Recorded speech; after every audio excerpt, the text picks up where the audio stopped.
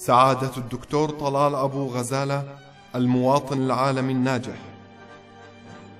تعلمك الخطى أن الطريق حكاية ومدى الحكاية أن تكون كما أردت بما اكتنزت من المسافة لاجئا في كفه وجه الوطن.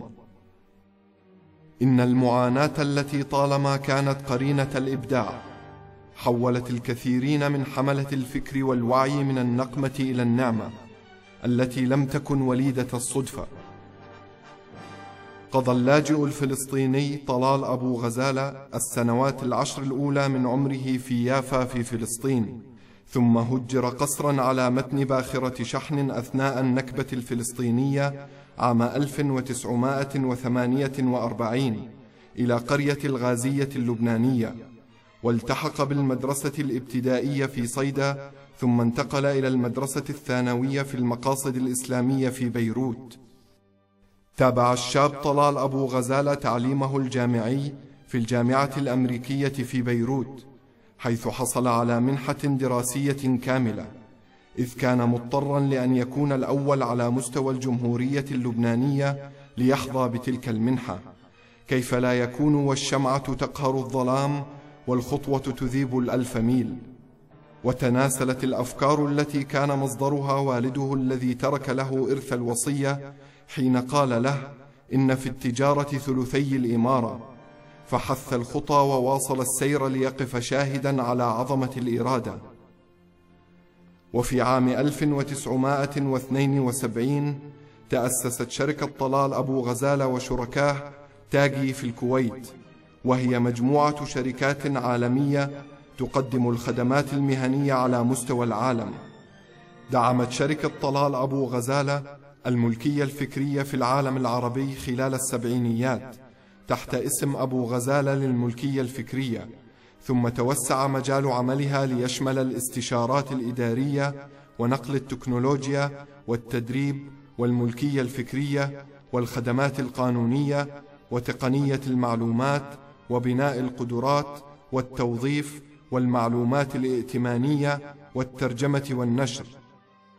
وتعمل المجموعة من خلال مكاتبها البالغ عددها ثمانين مكتبا ومئة وثمانين مكتب تمثيل حول العالم.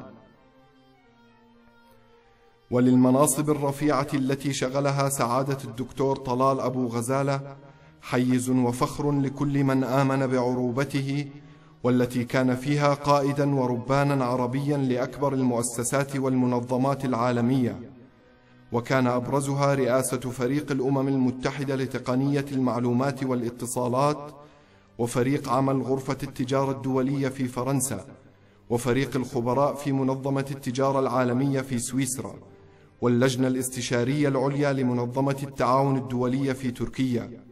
والمنظمة العربية لشبكات البحث والتعليم في ألمانيا وجولات كثيرة بين المناصب والمشاركات والمساهمات بالإضافة إلى التكريمات الدولية والإقليمية التي كان يفخر بها دائما وبعروبته ووطنيته القيادية إلى أن وصلت لتكمل جولاتها جنبا إلى جنب بصحبة أفضل الشخصيات العالمية والإسلامية.